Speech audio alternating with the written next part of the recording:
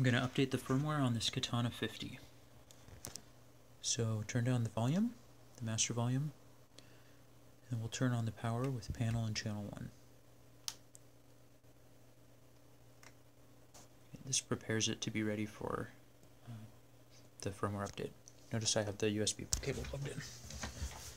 So when I plug that in, I see this Boss Katana drive, and I've downloaded the zip file. So let's unzip that stuff.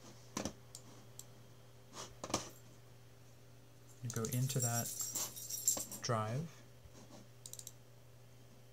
and then drop the files, not the folder, the files over there. When those are copied, you can eject the katana. We pop back over here. Unplug the USB drive cable and then press panel to tell it to start the firmware update. The indicator lights flash to indicate the progress.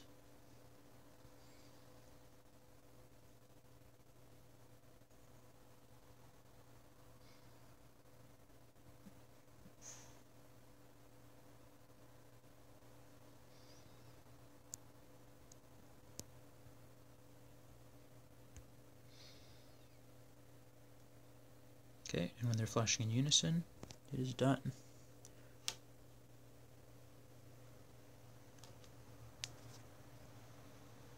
Alright, firmware is updated.